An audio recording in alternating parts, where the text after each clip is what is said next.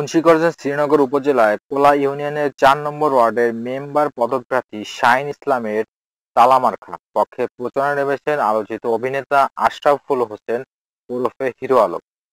শুক্রবার পাঁচই নভেম্বর সকাল দশটার দিকে কলাপাড়া ইউনিয়নের বিভিন্ন বাজার, ঘরবাড়ি ও রাস্তাঘাটে মিছিল সহকারে ঘুরে বেড়ান তিনি। এ সময় শাহিন ইসলামের জন্য ভোটারদের কাছে ভোট চান। হিরোলম সাংবাদিকদের বলেন, যারা মাটি মানুষের কথা বলে, আমি সব সময় তাদের সঙ্গেই থাকি। আমি খবর নিয়েছি, শাহিন ইসলামের ভালো লোক। আমি খোঁজখবর না নিয়ে কোথাও যাই না। তিনি আরও বলেন, আগের চেয়ে এবারে পরিবেশ ভালো, আশা করি সুষ্ঠু নির্বাচন হবে। এক প্রশ্নের জবাবে হিরো আলম বলেন, জনগণ আছে বলেই আমরা হিরো। জনগণ না থাকলে আমরা জিরো। যারা তারা যখন আমাদের কাছে পায়, তখন আমাদের মনটা ভরে যায়। যখন ভক্তদের কাছে পাই, তখন আমাদেরও মনটা ভরে। আমরা সবাই চাই সুষ্ঠু একটা নির্বাচন ও সুষ্ঠু একটা সমাজ। আগামী এগারোই নভেম্বর মুন্সিগঞ্জের শ্রীনগর উপজেলায় চোদ্দটি ইউনিয়নের ইউপি নির্বাচন হবে।